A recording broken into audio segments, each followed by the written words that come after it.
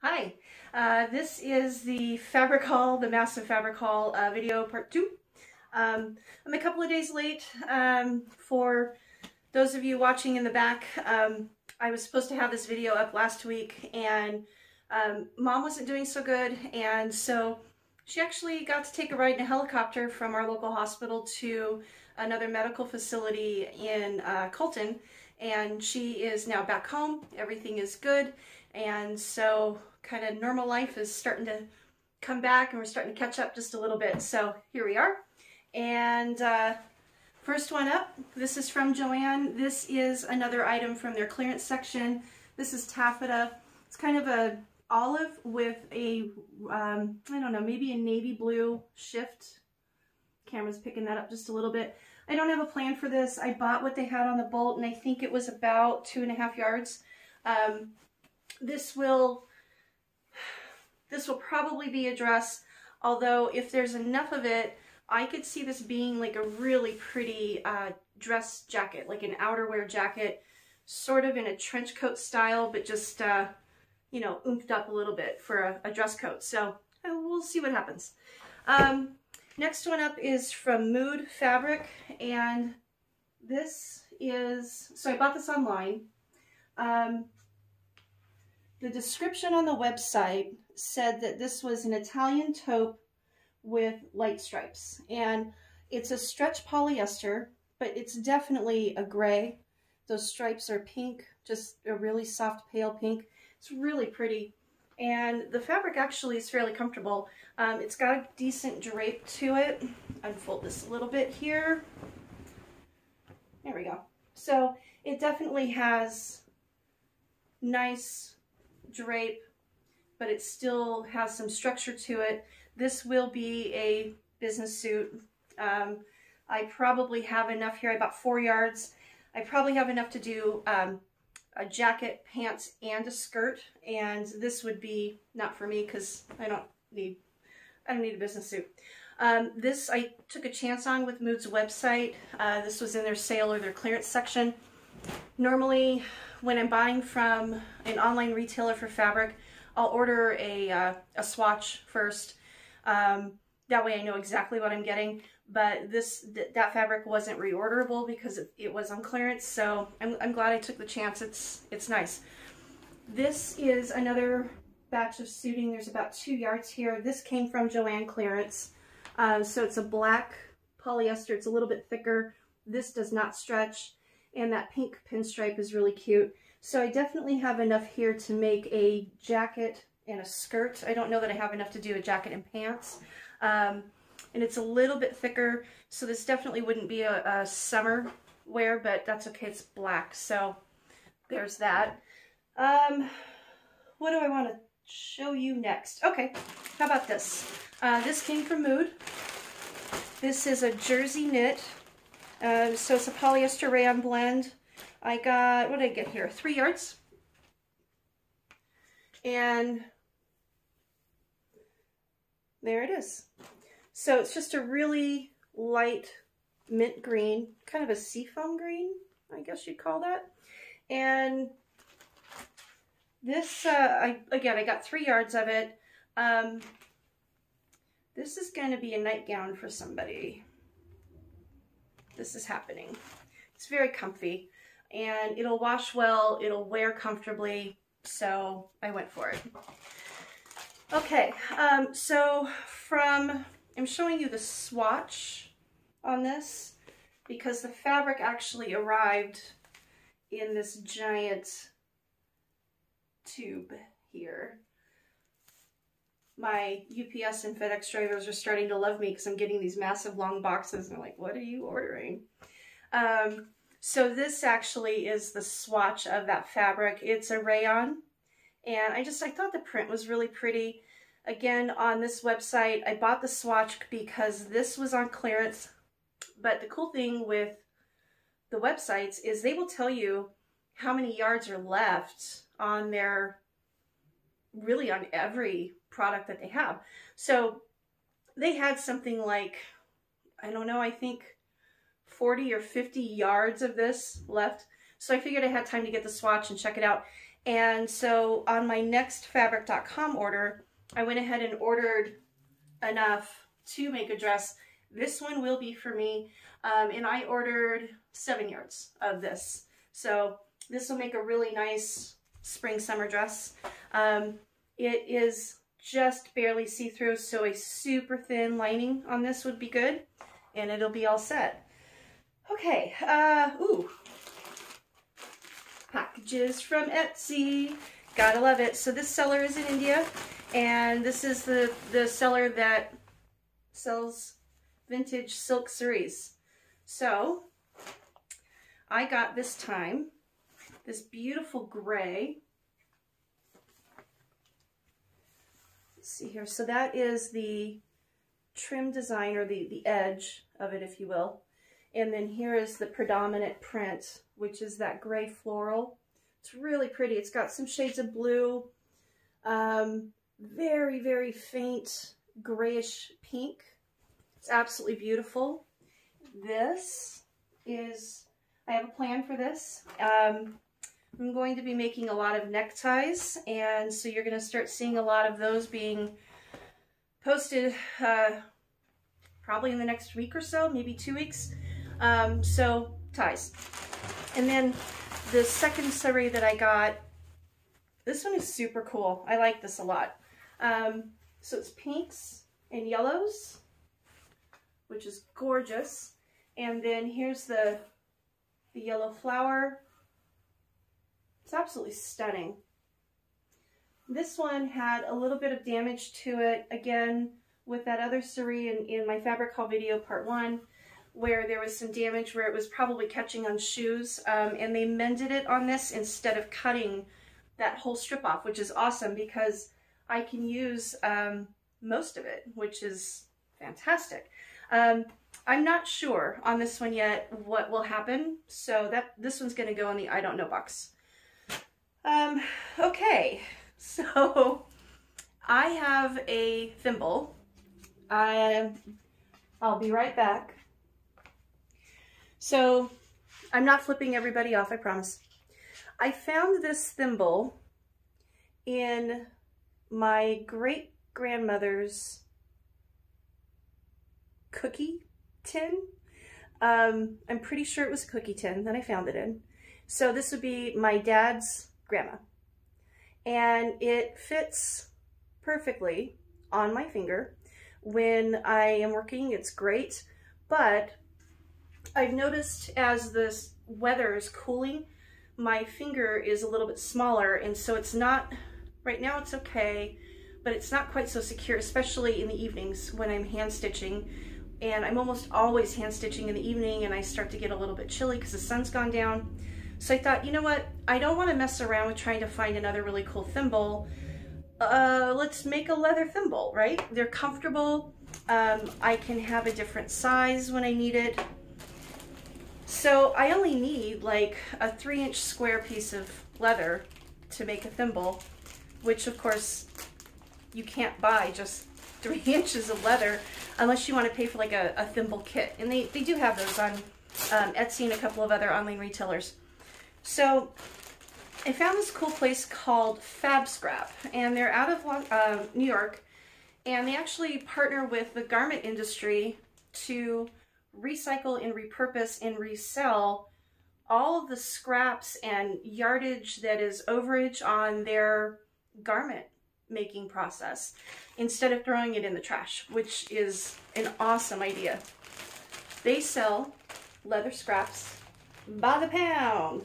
Now some of the stuff that I got in here is obviously not leather, um, but that's okay because they're kind of fun. Like these three strips here, I mean, they're full on plastic, um, but they're kind of cool. I don't know what I would do with them, but I'll figure something. Actually, they would make really handy bookmarks now that I think about it. So anyway, in this, I got like the bottom of a purse, right? And it's stamped here with the brand. There's a couple of studs in it, um, but there's really good leather on this. Um, so I got some cool leather pieces, definitely enough to make myself a leather thimble. Here's some really nice orange and red. I've got blacks and browns, blues, and I think I might as well, since I have it, go ahead and make leather thimbles to sell while I'm at it. So I've got what I need to make myself a leather thimble for those cooler times of the year when I can't wear my metal thimble. And now I have another thing to sell like in quantity, which is awesome. Okay, um, what else we got? Ooh. All right, also a Joann clearance. I've got this, uh, it's Quilter's Cotton. It's their Keepsake Calico Quilter's Cotton. Um, so it was the end of the bolt. I have six or seven yards here. I don't remember exactly how much. Uh, and then this was the end of the end of the line. This will be a dress. Again, cut on the bias because it is just that, you know, cotton. There's no give, there's no stretch, no movement really to it. And um, I'm just, I'm really vibing these kind of vintagey floral designs. And when they're on clearance, I can't, I can't argue with that. So um, same thing happened with this one. So again, end of the bolt here. Um, I think there's only five yards here. And I think there's actually two yards on this from the feel of it. But this actually is a kind of a mint floral on a black background. It's really cute. Again, another dress. Not for me. Um, for whoever buys it, which is coming very soon. Um, so this is just a pale mint. It's very silky feeling. And I've got six, uh, six yards of this. It almost, uh, it almost feels like peach skin. Let's pull this out here. So it's got this really nice drape to it. And what I want to do with this is, again, uh, a dress, but I want to do a little bit of lace overlay, like at the collar, on the sleeves, um, and possibly the full skirt itself. So um, not really, this isn't a lining, um, but it will act as that kind of for the lace itself. So I have a plan for that. This is very similar, but it's a lilac.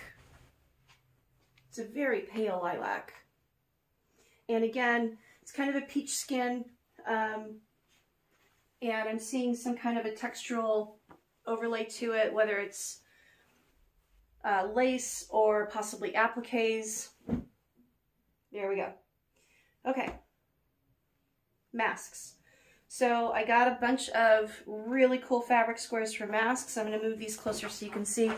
A lot of these are super amazing. And I got these from our local fabric retailer. So this has geckos. And we've got crabs.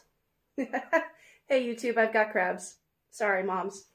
And then we've got turtles, which are awesome. So all of these um, will be the, the outer facing of the mask, and then the inside facing will be just a solid print cotton, or I'm sorry, a solid cotton. It won't have a print to it. At first I thought this was fish, but it actually is just a geometric design that I thought was really nice. I uh, figured if I'm going to go ahead and start putting things out there for sale, I might as well go ahead and do what started this whole thing and sew some masks. Uh, so these will actually be the 3D shaped masks. They won't be the accordion fold and they will have elastic cord instead of the fabric ties. Um, since I'm selling them, I can justify the extra expense in materials to do that. And elastic now has gone down quite a bit. Um, also, it's a little more available than it was in April and May.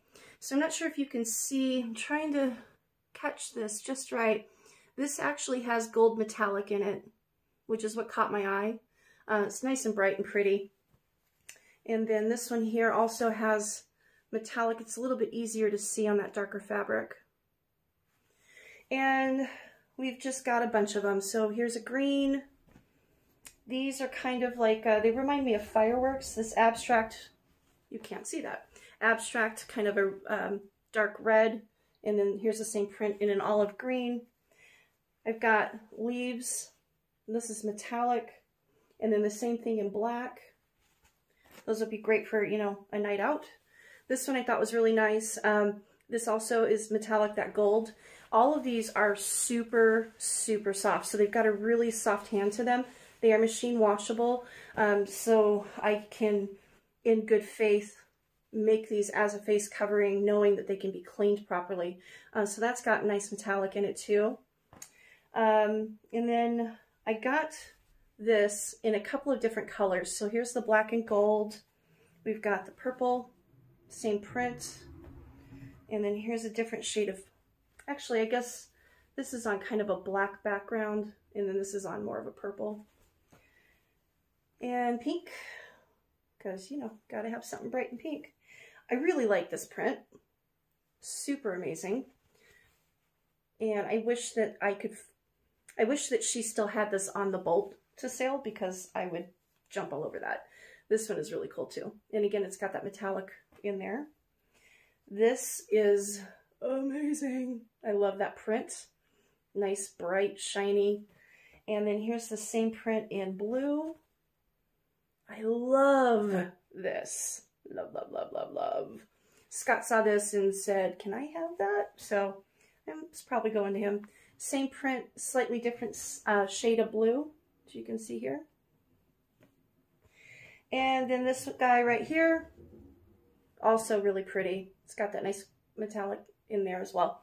Um, I have some other fabric squares to make masks out of. Um, I've got some Christmas prints and camo, of course, some Americana prints with like eagles, American flags, that kind of stuff. But there's plenty to show you here, and no, we're just not even, it's too much. All right, um, from Mood, this is 100% cotton. Is it 100%? How can that be? It is stretch cotton. And it's called Wisp of Wonder. It's on kind of a cream. So I got I got uh, two yards, three yards of this. I have three yards of this. I'm going to make myself a, a button-up shirt out of it. And same print. Scott saw it and said that it was really cool, but he wished it wasn't that cream color. And I said, well, you're in luck because they also have it on this dark blue. So I got um, four yards, three yards to make him a dress shirt as well. This one will be a long sleeve uh, for the winter months, so that is coming up on my sewing rotation. Okay, um, I have a bunch of lining, and the reason for that I will get to in a minute. Um, this is from Mood. This is a Baby Modal. It's stretchy. When you're touching this in just like one layer, it feels like um, it feels like you're running your hand through cool water. Like it is just the softest, most amazing fabric ever. So I, I got a couple of colors. I've got this seafoam green. Um, I have a black here. And then I also got this gray. And this gray one was the end of the bolt. So there's a little extra sticker on here that says that I got extra, which is kind of cool. Um, so nightgowns, actually going to experiment with uh, making some comfy underwear because COVID weight gain and uh, I'm not going to the store because I don't know what size I am anymore. I just keep measuring myself, shaking my head at the changes in the wrong direction, and then making things that will fit. So that's where we're at right now. Um, okay, so I found this skirt I had to actually go inside our local Walmart. Um, oh, I was shopping for our Eagles fundraiser dinner. And uh, I took a tour through the women's undergarments section, like the lingerie section, if you want to call it that at Walmart. Realized that I have absolutely no clue what size I'm looking for for underwear anymore. And started walking away towards cash registers took me past their clearance rack and I see this poking out just a little bit. And I'm like, whoa, wait, what is that? Put my hand on it and it is a 4X skirt. It's horribly made. So here's the waistband that is meant, I don't know if you can see the stitching on there. So the waistband, of course, is stitched down on two sides, but then it flips up. It's see-through, but it's a really cute fabric, and it was $3. $3. So then I was on the hunt for a lining to use with this to actually give it a useful life instead of just looking horrible on somebody or even worse, like just going in the trash. Um, so I went to Joann because I broke a sewing needle at 3 o'clock in the morning. And so the next day I had to pick Scott up from the airport, got home in time before they closed, rushed in. I didn't even have a cart. Like I just, I just need needles. Uh, oh, and white thread. I was out of white thread. Their clearance section is right next to all of their notions, of course, because they're smart like that, right? But this was on clearance. So this is a satin. It is definitely not a lining fabric, but for the price, I could justify buying it for the lining of the skirt. So what I'll do is I'll make sure that the right side of the lining is facing out so that you get that full shine when you do see it through. But isn't that gorgeous? I just felt like that was the perfect pink to add to that $3 skirt. So I will give this some new life and somebody will hopefully buy that and give it lots and lots of love. All right, so something else happened while I was in Joann for needles, and only needles. Um, I mentioned that I was going to start sewing neckties for uh, for sale to the girls that were working and um, cutting my fabric. And it went from there. So it turns out that Julie, hey Julie, if you're if you are catching this, I didn't forget. There you go. This was Julie's pick. She asked if I could please, please, please make her a necktie out of this. This is brocade and it is stunning. I have enough here to make three neckties. Uh, so she's getting one of them and then two will be listed for sale very soon. Um, so that is why I have a bunch of lining is for these ties. Okay, so now we're on tie mode. These all have an actual plan and in the next probably four or five days they'll all be cut up. So this is another brocade.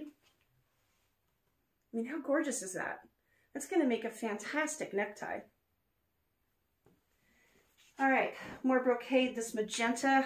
Fell in love with this when I saw it.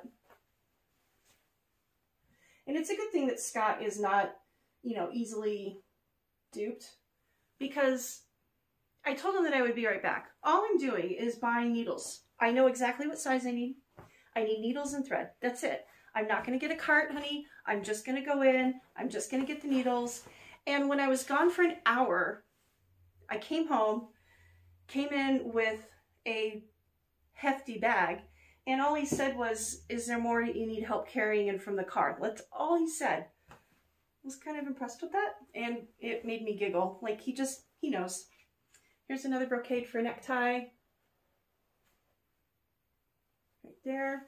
So Scott has been really helpful in um, kind of navigating some logistics when it comes to actually turning this into a business and actually selling the garments that I'm um, putting together that I'm creating. Um, so he's he's been working behind the scenes with me on the weekends and in the evenings trying to sort through a lot of different things like clothing labels, um, website versus Etsy versus just word of mouth versus YouTube versus a combination.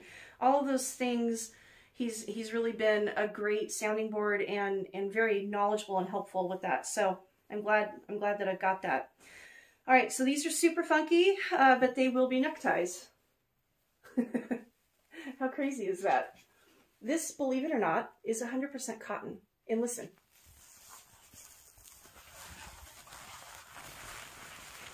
There's no lining in there. That is just the fabric super funk. Um, you cannot put heat to this. So getting, working with this is going to be a little bit of a challenge. But they're so cool. And for a necktie, like, why not? Um, so that's what these are here. These are all one yard cuts. And this is kind of a snake skin and gold on a black. And again, that sound cracks me up. This one is really cool. This has got a softer hand to it. It's not as plasticky feeling. Um, it's just an iridescent purple. That was pretty. And then we have the red version of the snakeskin print, if you will. Thought it was kind of neat. These are definitely going to be ties that are not for the faint of heart. Let's put it that way. There we go. I like the color shift on this one a lot. And then we have this guy here. It's kind of a rainbow iridescent. Um, yeah.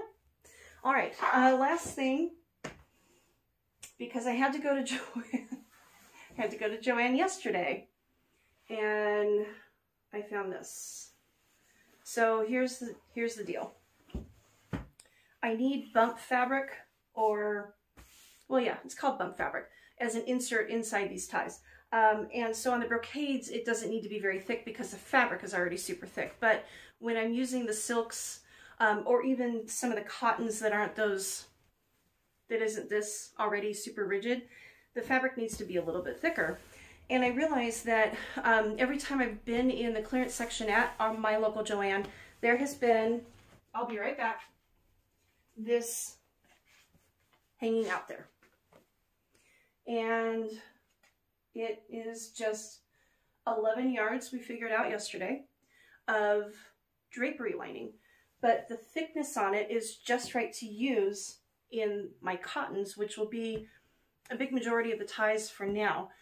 Um, it's not quite thick enough for the silks, but that's okay because I've got some on the way from fabric fabric.com. Fabric um, so anyway, I went to Joann to get this yesterday because I realized that, that I've been seeing this sitting there. Nobody has picked it up. Nobody's run with it. It was a really good price. Of course, it's on the clearance rack and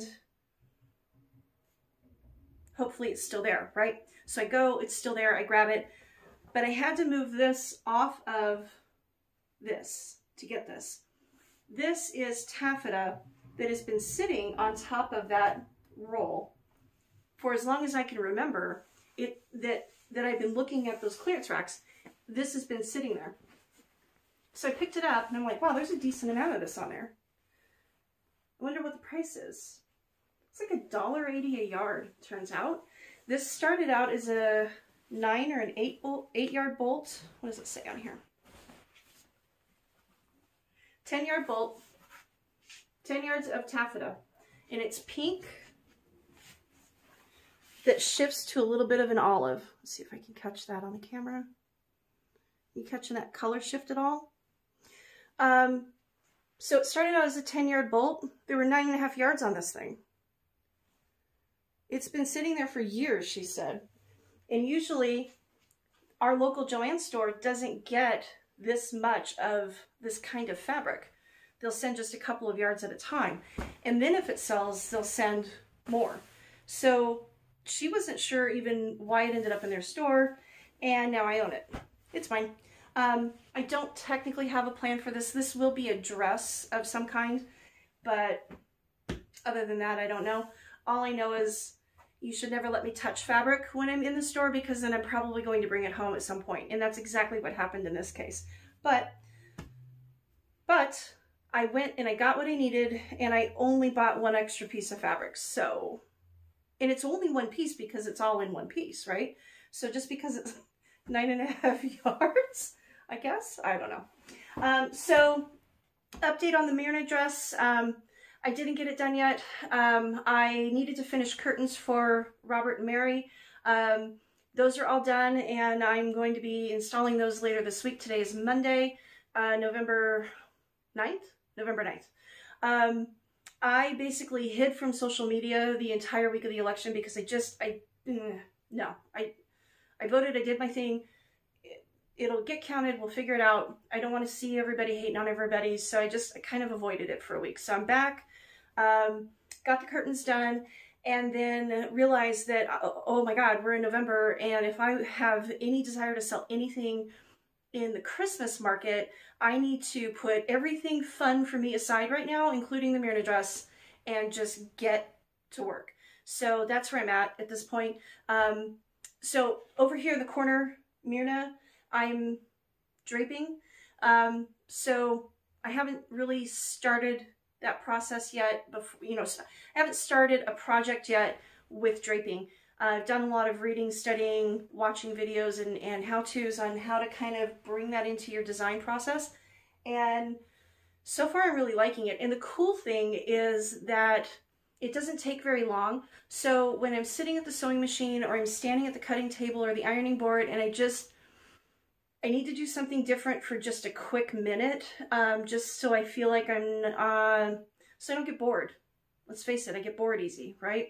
Um, I can go over to Sally and kind of tweak that form and that shape and that design and play with it for like two or three minutes, get it out of my system a little bit, and then go back to work. So yeah, I'm kind of digging it. Um, it's not even, well, uh, it, actually it is kind of close. It is kind of close to the final shape that I want. It will have that deep V. I do like the idea of the, um, the self rosette right here in the center of the bust. I like the sloping off of the shoulder just a little bit. What I'm not sure about is the peaked shoulder um, or if I just want to have that drape off gracefully, kind of just flowing backwards. Um, without cutting the fabric, I've been sort of able to fashion it so that the uh, it's it's almost like a cape design in the back, but it's all really just one flowing piece of fabric. So I've been playing. Why not? Um, so I'll, I'll, give you guys updates on that. But unfortunately, Myrna is hanging out uh, off camera over here. Um, I say hello and goodbye to her every time I come in the door because she's right by the door. But yeah, it's it's that time of year where I really just need to um, get to work. So um, I will have another update for you next week. It won't be a fabric haul. It'll be some kind of vlog, probably um, showing you how horrifyingly messy my craft room can be when I am going crazy working on everything. But I will get something uploaded so that moms and friends can see what's happening. And we'll just have to keep doing the YouTube thing until we can actually hang out together.